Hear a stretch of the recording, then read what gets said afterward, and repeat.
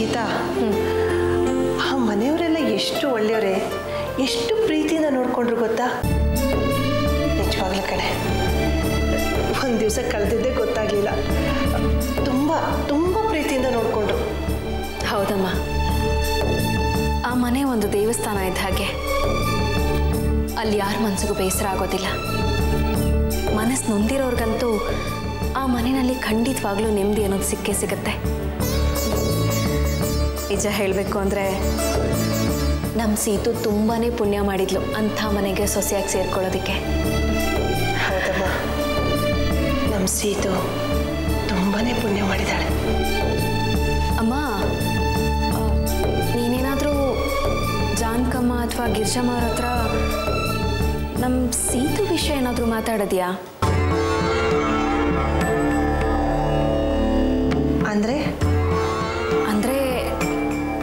ಸೀತು ಅನಾಥೆ ಅನ್ನೋ ಅನುಮಾನ ಬರೋ ಥರ ಅನಾಥೆ ಅನ್ನೋ ಅನುಮಾನ ಬರೋ ಥರನ ನನ್ನ ಮಗಳು ಅನಾಥೆ ಅಲ್ಲ. ನಮ್ಮ ಸೀತು ಅನಾಥೆ ಅಲ್ಲ.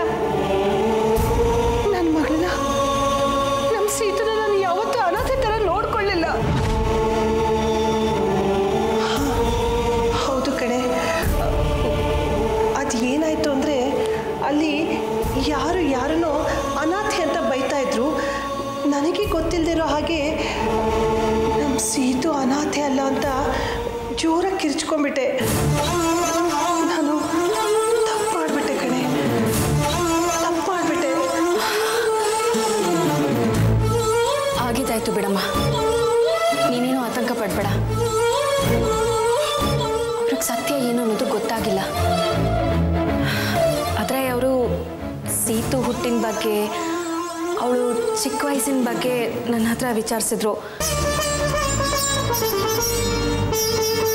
ನಾನು ಏನೇನೋ ಹೇಳಿ ಮ್ಯಾನೇಜ್ ಮಾಡಿದ್ದೀನಿ. ನೀನೇನು ತಲೆ ಕೆಡಿಸ್ಕೋಬೇಡ.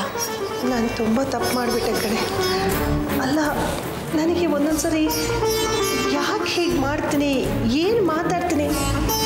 ನನಗೇನು ಗೊತ್ತಾಗಲ್ಲ ಸಂಗೀತ. ಅಮ್ಮ ಅಮ್ಮ ನೋಡು ನೀನು ಕೆಲವೊಂದು ವಿಷಯಗಳನ್ನ ತುಂಬ ಮನ್ಸಿಗೆ ಹಚ್ಕೊಳ್ತೀಯ? ಅದಕ್ಕೆ ನಿನಗೆ ಗೊತ್ತಿಲ್ಲದ ಹಾಗೆ ಈ ರೀತಿಯೆಲ್ಲ ನಡೆದು ಹೋಗುತ್ತೆ. ಈಗ ಆಗಿದ್ದಾಯ್ತು. ನೀನೇನು ಯೋಚನೆ ಮಾಡಬೇಡ. ಅಲ್ಲೆಲ್ಲ ಸರಿ ಹೋಗುತ್ತೆ. ಬಾ, ಕಾಫಿ ಮಾಡಿಕೊಡ್ತೀನಿ. ಕುಡಿಯುತ್ತೆ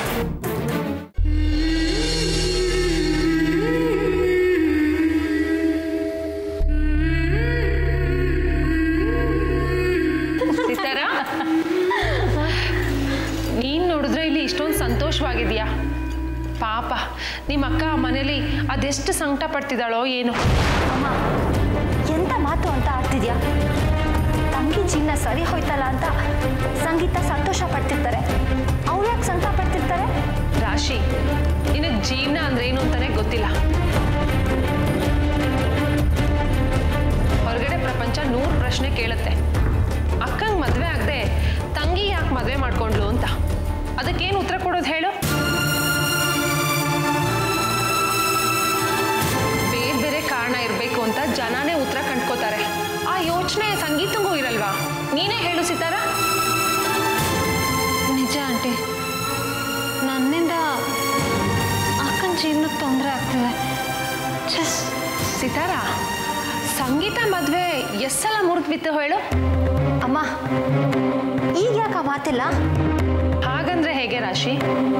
ಸಿತಾರ ಈಗ ನಮ್ಮನೆ ಹುಡುಗಿ. ಅವಳ ಮನೆ ವಿಷಯ ನಮ್ಮನೆ ವಿಷಯ ಇದ್ದಾಗಲ್ವಾ? ಅವಳ ಮನೆ ಕಷ್ಟ ನಮ್ಮನೆ ಕಷ್ಟ ಇದ್ದ ಹಾಗೆ ಅಲ್ವಾ? ನೀನ್ ಹೇಳಮ್ಮ ಸಿತಾರ ಎಂಗೇಜ್ಮೆಂಟ್ ಮುರಿದು ಬಿದ್ದಿದ್ಯಾಕೆ ಮದ್ವೆ ನಿಂತು ಹೋಗಿದ್ಯಾಕೆ ಅದು ಎಂಗೇಜ್ಮೆಂಟ್ ದಿನ ನಮ್ಮ ತಂದೆಗೆ ಆಕ್ಸಿಡೆಂಟ್ ಆಯಿತು. ಮದುವೆ ದಿನ ಅವ್ರು ಈ ಲೋಕನೇ ಬಿಟ್ಟು ಹೋದ್ರು ಅಲ್ವಾ? ನಿಮ್ಮ ಅಕ್ಕ ನಡೆ ಬರಹನೆ ಸರಿ ಇಲ್ಲ ಅಂತ ಕಾಣುತ್ತೆ. ಅಮ್ಮ ಆಗೋ ಘಟನೆಗಳಿಗೂ ಹಣೆ ಬರಹಕ್ಕೂ ಏನಮ್ಮ ಸಂಬಂಧ? ರಾಶಿ ಎಲ್ಲಾನು ಅಷ್ಟು ಸುಲಭವಾಗಿ ಅಳಿಬೇಡ ನೀನು. ಜನ ಪ್ರತಿಯೊಂದನ್ನು ತೂಗಿ ಅಳೆದು ನೋಡ್ತಾರೆ. ಹೆಣ್ಮಕ್ಳ ಕಾಲ್ಗುಣ ಯಾವತ್ತೂ ಚೆನ್ನಾಗಿರ್ಬೇಕು. ಸಂಗೀತ ಅವಳ ಮದುವೆ ದಿನನೇ ಅವ್ರ ಅಪ್ಪನ ಬಲಿ ತಗೊಂಡ್ಬಿಟ್ಲು. ನೀನೇ ಯೋಚನೆ ಮಾಡಿ ನೋಡು ಅವಳ ಹಣೆ ಬರ ಎಷ್ಟು ಕೆಟ್ಟದಾಗಿದೆ ಅಂತ. ಸತ್ಯ. ನಮ್ಮನೆಗೇನು ಕೆಟ್ಟದಾಗದೇ ಇದ್ರೆ ಅಷ್ಟೇ ಸಾಕು.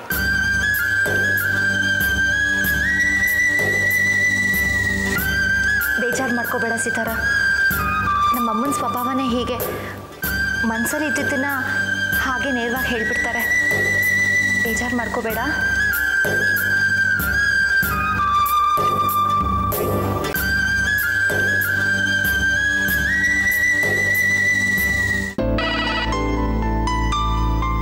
ಎಸ್ ಅಡ್ವೊಕೇಟಾ ಸರಿ ಕಳಿಸಿ.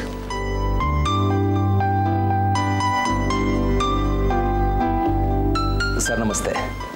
ನಾನು ಅಮರ್ ತಂತ್ರಿ ಅಂತ ಅಡ್ವೊಕೇಟು ಹಾಗೆ ರಿಯಲ್ ಎಸ್ಟೇಟು ಮಾಡ್ತೀನಿ ಸರ್ ಸಂತೋಷ. ಟೇಕ್ ಯುವರ್ ಸೀಟ್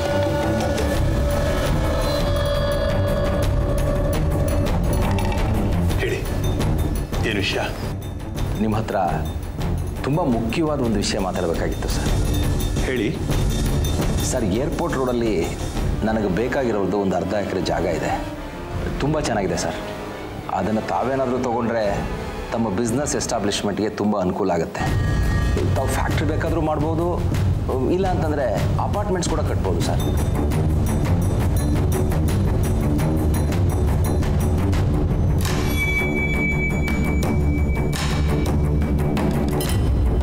ಹತ್ರ. ಅಲ್ಲಿ ನನಗೆ ಗೊತ್ತಿಲ್ಲದೆ ಇರೋ ಜಾಗ ಯಾವುದಿದೆ? ಇನ್ಫ್ಯಾಕ್ಟ್ ಅಲ್ಲೊಂದು ಪ್ರಾಪರ್ಟಿ ಪರ್ಚೇಸ್ ಮಾಡಬೇಕು ಅಂತ ಒಂದು ತಿಂಗಳಿಂದ ಅಲ್ಲಿ ಹುಡುಕ್ಸ್ತಾನೆ ಇದ್ದೀನಿ. ಆ ವಿಷಯ ನನಗೆ ಗೊತ್ತಾಗೇ ನಾನು ಇಲ್ಲಿಗೆ ಬಂದಿದ್ದು ಸರ್. ಏರ್ಪೋರ್ಟ್ಗಿಂತ ಐದು ಕಿಲೋಮೀಟ್ರ್ ಮುಂಚೆನೇ ಈ ಜಾಗ ಇದೆ ಸರ್.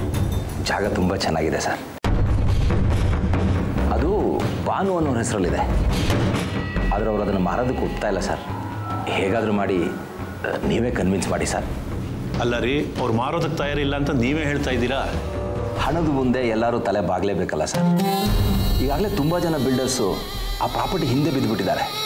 ಒಬ್ಬರು ಇಪ್ಪತ್ತು ಕೋಟಿ ಅಂದರೆ ಇನ್ನೊಬ್ಬರು ಇಪ್ಪತ್ತೈದು ಕೋಟಿ ಅಂತಿದ್ದಾರೆ. ಇದನ್ನೆಲ್ಲ ನೋಡಿ ಆ ಜಾಗದ ಓನರ್ ಭಾನು ಏನು ಮಾಡಬೇಕು ಅಂತ ತಿಳಿದೆ ಒದ್ದಾಡ್ತಾ ಇದ್ದಾರೆ. ಒಂಥರ ಕನ್ಫ್ಯೂಷನ್ಲಿದ್ದಾರೆ ಸರ್.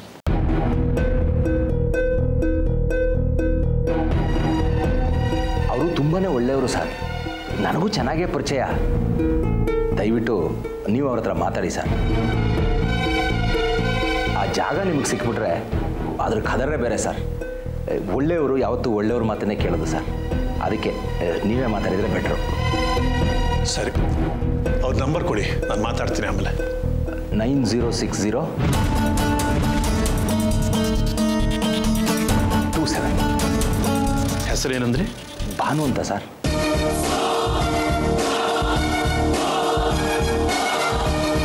ತುಂಬ ಒಳ್ಳೆ ಇನ್ಫಾರ್ಮೇಷನ್ನೇ ಕೊಟ್ಟಿದ್ದೀರಾ. ಥ್ಯಾಂಕ್ಸ್ ನೀವು ಚೆನ್ನಾಗಿದ್ದರೆ ನನ್ನಂತೂರು ಸಾವಿರಾರು ಜನ ಚೆನ್ನಾಗಿರ್ತಾರೆ. ಸರ್ ಕೆಲಸ ಮುಗಿದ ಮೇಲೆ ನನ್ನ ಕಮಿಷನ್ನು ಅದ್ರ ಬಗ್ಗೆ ನೀವು ಯೋಚನೆ ಮಾಡಬೇಡಿ. ಮೊದಲು ನಾನು ಆ ಜಾಗ ನೋಡಬೇಕು. ಆ ಜಾಗ ನನಗಿಷ್ಟ ಆದರೆ ನಿಮಗೆ ಕಮಿಷನ್ ಜಾಸ್ತಿನೇ ಸಿಗುತ್ತೆ. ಸರಿ ಸರ್. ನೀವು ದಯವಿಟ್ಟು ಮಾತಾಡಿ ಸರ್. ಖಂಡಿತವಾಗ್ಲೂ ಆ ಜಾಗ ನಿಮಗೆ ಆಗುತ್ತೆ. ನಾನೇನು ಹೊಡ್ತೀನಿ ಸರ್. ಆಯಿತು. ನಾನು ಅವ್ರ ಜೊತೆ ಮಾತಾಡಿ ನಿಮಗೆ ಫೋನ್ ಮಾಡ್ತೀನಿ. ಹಾಗೆ ಆಗಲಿ ಸರ್.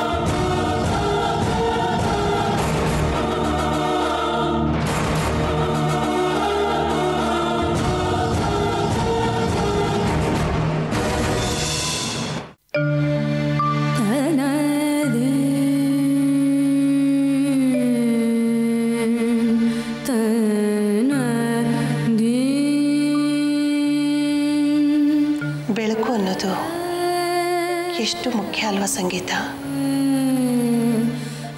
ಅಂತಹ ಬೆಳಕು ನಮ್ಮ ಸೀತಾರಂಗ್ ಸಿಕ್ಬಿಡ್ತು. ಆ ಮನೇಲಿ ಅವಳು ಚೆನ್ನಾಗೇ ಇರ್ತಾಳೆ. ಇನ್ನು ನನಗೆ ಯೋಚನೆ ಇರೋದು ನಿನ್ನ ಬಗ್ಗೆ. ನಿನಗೂ ಒಂದು ಒಳ್ಳೆ ಮನೆ ಸಿಕ್ಬಿಟ್ರೆ ನಾನು ನೆಮ್ಮದಿಯಿಂದ ಕಣ್ಮುಚ್ಚಬಹುದು ಅಮ್ಮ ಎಷ್ಟು ಸಲ ಹೇಳ್ಬೇಕು ನಿನಗೆ ಈ ರೀತಿ ಎಲ್ಲ ಮಾತಾಡಬೇಡ ಅಂತ? ಸಂಗೀತ, ನಿನ್ನ ಪರಿಸ್ಥಿತಿ ನೋಡಿದ್ರೆ ನನಗೆ ಸಂಕಟ ಆಗುತ್ತೆ ಕಣೆ. ಹೆಣ್ಮಕ್ಳಿರೋ ಮನೆಯಲ್ಲಿ ತಂದೆ ಒಬ್ಬ ಸರಿ ಇಲ್ಲ ಅಂದರೆ ಆ ಮನೆ ಪರಿಸ್ಥಿತಿ ಹೇಗಾಗುತ್ತೆ ನೋಡು.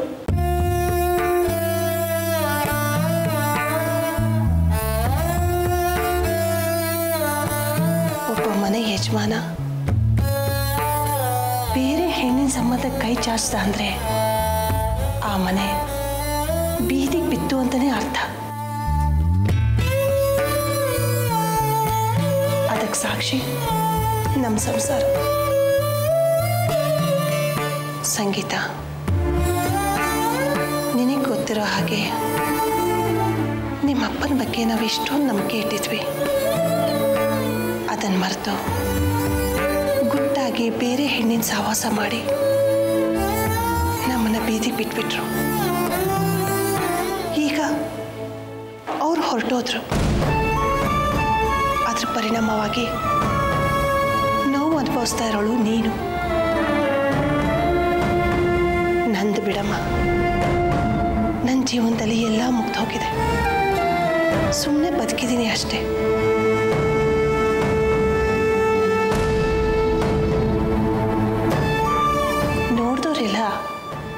ನನ್ನನ್ನು ನಿಮ್ಮಪ್ಪನ ರಾಮ ಸೀತೆಗೆ ಹೋಲಿಸ್ತಾ ಇದ್ರು.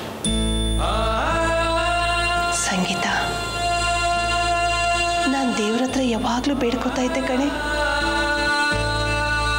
ನಿಮ್ಮಪ್ಪನ ಮುಂದೆ ನಾನು ಬೇಗ ಕಣ್ಮುಚ್ಚಬೇಕು ಅಂತ. ಸುಮಂಗ್ಲಿಯಾಗಿ ಸಾಯ್ಬೇಕು ಅಂತ.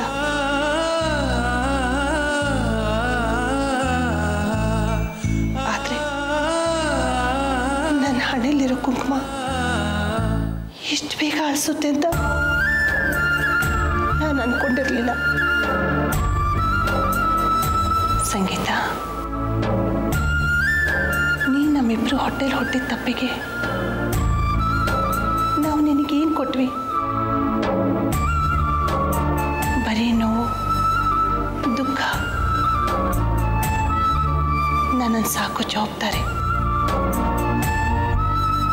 ಮಗು ಹುಟ್ಟಿದ ಪ್ರತಿಯೊಬ್ಬ ತಂದೆನೂ ತುಂಬ ಜವಾಬ್ದಾರಿಯುತವಾಗಿರ್ತಾರೆ. ಹೆಣ್ಣು ಮಗುನ ಹೇಗೆ ಬೆಳೆಸ್ಬೇಕು? ಏನು ಓದಿಸ್ಬೇಕು? ಎಂಥ ಮನೆಗೆ ಸೇರಿಸ್ಬೇಕು ಅನ್ನೋದೇ ಅವನ ಯೋಚನೆ ಆಗಿರುತ್ತೆ.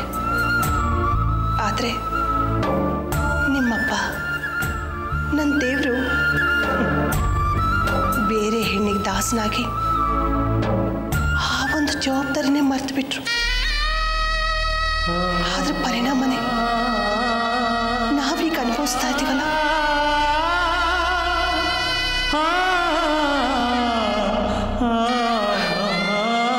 ಯಾವ ಹೆಣ್ಮಕ್ಳಿಗೂ ನಿನ್ನ ಪರಿಸ್ಥಿತಿ ಬರಬಾರ್ದು ಕಣೆ. ಏನೇ ಬಂದರೂ ನಾನು ಅದನ್ನ ಎದುರಿಸ್ತೀನಿ. ಅಮ್ಮ, ನಾನು ನಿನ್ನನ್ನು ಸಾಕ್ತೀನಿ. ಅಷ್ಟು ಶಕ್ತಿನ ದೇವರು ನನಗೆ ಕೊಟ್ಟಿದ್ದಾನಮ್ಮ. ನೀವುಗಳು ನನಗೆ ವಿದ್ಯೆ ಕೊಟ್ಟಿದ್ದೀರಾ? ನಾನು ನಾಲ್ಕು ಮನೆ ಮಕ್ಕಳಿಗೆ ಪಾಠ ಹೇಳ್ಕೊಡ್ತೀನಿ. ಇಲ್ಲ, ಸಂಗೀತ ಕ್ಲಾಸಸ್ ಮಾಡ್ತೀನಿ. ಅದು ಆಗಲಿಲ್ವಾ? ಹಪ್ಪಳ ಮಾರಾದರೂ ನಾವಿಬ್ಬರು ನೆಮ್ಮದಿಯಿಂದ ಜೀವನ ಸಾಗಿಸೋಣ. ಇನ್ನೇನು ಯೋಚನೆ ಮಾಡಬೇಡ.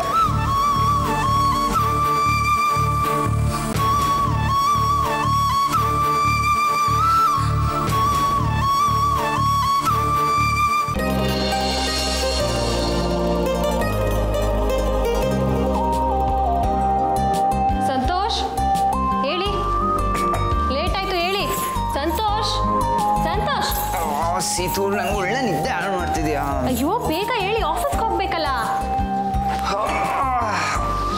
ಹ್ಮ್ ತಗೊಳ್ಳಿ ಕಾಫಿ ಆಫೀಸಿಗೆ ಬೇಗ ಹೊರಡಿ. ಹೋಗ್ಲೇಬೇಕಾ? ಬಾಸ್ ಕರೆಕ್ಟ್ ಟೈಮ್ಗೆ ಹೋದ್ರೆ ತಾನೆ. ಮಿಕ್ಕಿದ ಕೆಲಸಗಾರೆಲ್ಲ ಪಂಕ್ಚುಲ್ ಆಗಿ ಬರೋದು. ಬೇಗ ರೆಡಿಯಾಗಿ ಆಫೀಸ್ಗೆ ಹೊರಡಿ. ಓಕೆ ಆ ಸೀತು ನಾನು ಆಫೀಸಿಗೆ ಹೋಗಲೇಬೇಕು ಅಂದರೆ ನೀನು ನನಗೊಂದು ಕೊಡಲೇಬೇಕು ಹೋಗಿಪ್ಪ ನನ್ಗೆ ಇನ್ನೂ ಎಷ್ಟೊಂದು ಕೆಲಸ ಇದೆ. ನಾನು ಇನ್ನೂ ತಿಂಡಿ ಮಾಡಬೇಕು ಪೂಜೆ ಮಾಡಬೇಕು. ನೀವೊಳ್ಳೆ ಸೀತು ಜಸ್ಟ್ ಒನ್ ಪ್ಲೀಸ್ ಬೇಗ ರೆಡಿಯಾಗಿ ಆಫೀಸ್ಗೆ ಕೊಡಿ. ತಿಂಡಿ ತಿನ್ನ ಕೆಳಗೆ ಬನ್ನಿ.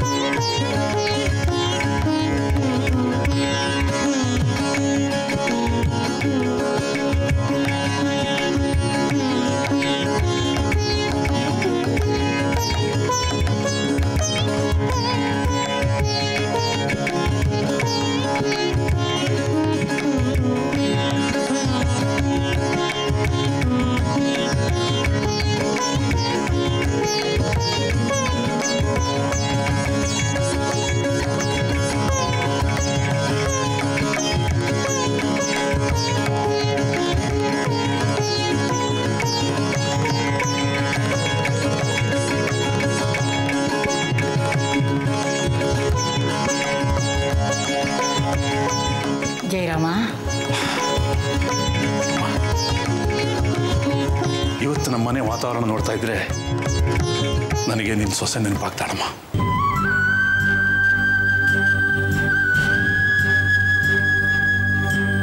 ಪ್ರತಿ ದಿವಸ ಬೆಳಗಿನ ಜಾವನೇ ಎದ್ದು ಎಲ್ರಿಗೂ ಕಾಫಿ ಕೊಟ್ಟು ಪೂಜೆ ಮಾಡಿ ಇಡೀ ಮನೆ ತುಂಬ ಆನಂದ ತುಂಬಿರೋ ಹಾಗೆ ನೋಡ್ಕೋತಾ ಇದ್ಲು ಇವತ್ತು ನನ್ನ ಸೊಸೆ ಮತ್ತೆ ಅದೇ ವಾತಾವರಣ ಬರೋ ಹಾಗೆ ಮಾಡ್ತಾ ಇದ್ದಾಳೆ ಹೌದು ಜಯರಾಮ ಆ ನನ್ನ ಸೊಸೆ ಇದ್ದಾಗಿನ ವಾತಾವರಣ ಈ ಮನೆಯಲ್ಲಿ ಮತ್ತೆ ಬರ್ತಾ ಇದೆ ಜೊತೆಗೆ ಈ ಮನೆಯಲ್ಲಿ ಶಾಶ್ವತವಾಗಿ ನೆಲೆಯೂರುತ್ತೆ.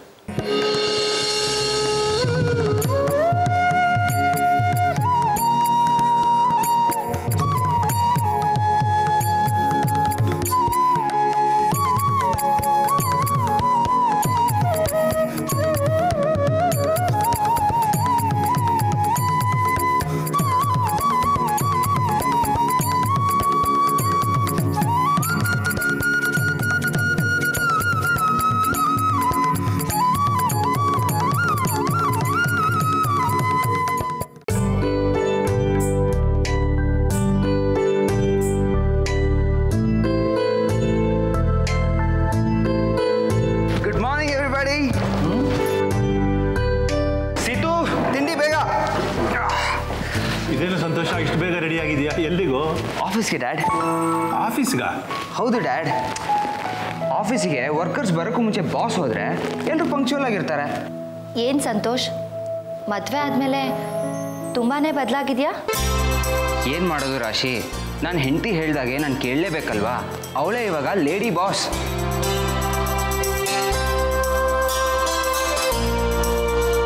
ಕರೆಕ್ಟಾಗಿ ಹೇಳಿದೆ ಸಂತೋಷ್. ಯಾವಾಗಲೂ ಹೆಂಡತಿ ಮಾತು ಕೇಳಿದ್ರೆ ಸಂಸಾರ ತುಂಬ ಚೆನ್ನಾಗಿರುತ್ತೆ ಅಂತಾರೆ. ನೀನು ಹಾಗೆ ಮಾಡು. ಸೀತಾರ ಮೂರ್ನಾಲ್ಕು ದಿನದಲ್ಲಿ ನನ್ನ ಮೊಮ್ಮಗನ ಎಷ್ಟು ಚೆನ್ನಾಗಿ ಬದಲಾಯಿಸ್ಬಿಟ್ಟಿದ್ಯಾ ಮೆಚ್ಚಬೇಕೆ ಇದನ್ನೇ ಮೇಂಟೈನ್ ಮಾಡು ಹಾಂ ಅಮ್ಮ ಅದಕ್ಕೆ ಅಲ್ಲ ಹೇಳೋದು ಗಂಡು ಮಕ್ಕಳಿಗೆ ಆದಷ್ಟು ಬೇಗ ಮದುವೆಯನ್ನು ಮೂಗುದಾರ ಹಾಕಬೇಕು ದಾರಿಗೆ ಬರ್ತಾರೆ ಅಂತ ಅಚ್ಚರಿ ಹೇಳಿದೆ ಅದು ಸರಿ ಗಿರ್ಜಮ್ಮ ಮತ್ತೆ ಭಟ್ರಲ್ಲಿ ಅವ್ರು ಪೂಜೆ ಕೊಡೋಕ್ಕೆ ದೇವಸ್ಥಾನಕ್ಕೆ ಹೋಗಿದ್ದಾರೆ ಬೊಂಬಾಟಾಗಿದೆ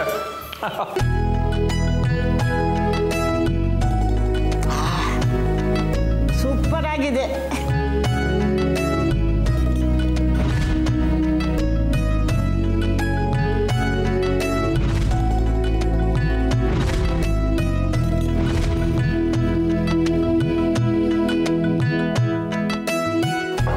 ಓಕೆ ಎವ್ರಿಬಡಿ ಬಾಯ್ ಬಾಯ್ ಬಾಯ್ ಬಾಯ್ ಬಾಯ್ ಬಾಯ್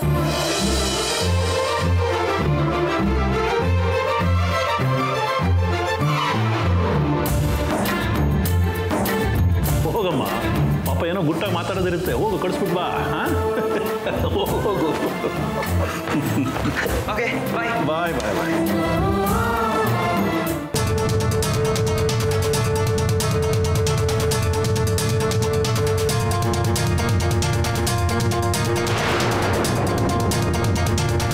ಯಾಮಿನಿ?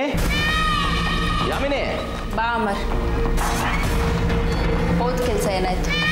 ನಾನು ಹೋದ್ಮೇಲೆ ಕೆಲಸ ಯಾವತ್ತಾದ್ರೂ ಫೇಲ್ಯೂರ್ ಆಗುತ್ತಾ? ಸಕ್ಸಸ್ ಗ್ರ್ಯಾಂಡ್ ಸಕ್ಸಸ್ ಅಂದರೆ ಜೈರಾಮ್ ಅವ್ರು ಫೋನ್ ಮಾಡೇ ಮಾಡ್ತಾರಾ? ಖಂಡಿತವಾಗ್ಲೂ ಮಾಡೇ ಮಾಡ್ತಾರೆ ರಾಕಿ. ಆ ಮನುಷ್ಯ ಒಂದು ಸಲ ಡಿಸೈಡ್ ಮಾಡಿದ ಮೇಲೆ ಮುಗೀತು. ಯಾವುದೇ ಕಾರಣಕ್ಕೂ ಚೇಂಜ್ ಮಾಡಲ್ಲ. ಏರ್ಪೋರ್ಟ್ ಸುತ್ತಮುತ್ತ ತನ್ನ ಬಿಸ್ನೆಸ್ ಎಕ್ಸ್ಪ್ಯಾನ್ಷನ್ಗೆ ಜಾಗ ಹುಡುಕ್ತಿದ್ರಂತೆ. ನಾನು ಸರಿಯಾದ ಟೈಮಿಗೆ ಎಂಟ್ರಿ ಆಗಿ ಇನ್ಫಾರ್ಮೇಷನ್ ಪಾಸ್ ಆನ್ ಮಾಡಿ ಬಂದಿದ್ದೀನಿ ಅವರು ಕೂಡ ಖುಷಿಯಾಗಿದ್ದರು ಬೇಕಾದರೆ ಕೇಳಿಸ್ಕೊ. ಯಾವುದಿದೆ ಇನ್ಫ್ಯಾಕ್ಟ್ ಅಲ್ಲೊಂದು ಪ್ರಾಪರ್ಟಿ ಪರ್ಚೇಸ್ ಮಾಡಬೇಕು ಅಂತ ಒಂದು ತಿಂಗಳಿಂದ ಹುಡುಕಿಸ್ತಾನೆ ಇದ್ದೀನಿ. ಅವ್ರ ನಂಬರ್ ಕೊಡಿ ನಾನು ಮಾತಾಡ್ತೀನಿ ಆಮೇಲೆ.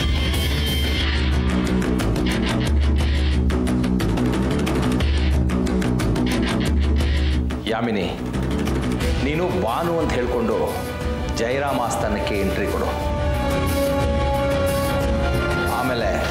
ನೀನು ಬಾನಲ್ಲೇ ಹರಾಡ್ತಾ ಇರ್ತೀಯ?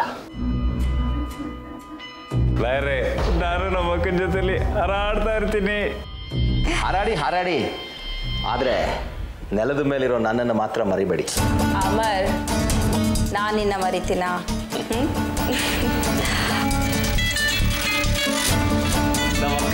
ಸತ್ಯ. ಕರೆಕ್ಟ್ ಆಗಿ ರಿಂಗ್ ಆಯ್ತು. ಹಲೋ ಹಲೋ ಭಾನುವರ ಹೌದು. ತಾವು? ನಮಸ್ಕಾರ. ನಾನು ಇಂಡಸ್ಟ್ರಿಯಲಿಸ್ಟ್ ಜಯರಾಮ್ ಮಾತಾಡ್ತಾ ಇರೋದು.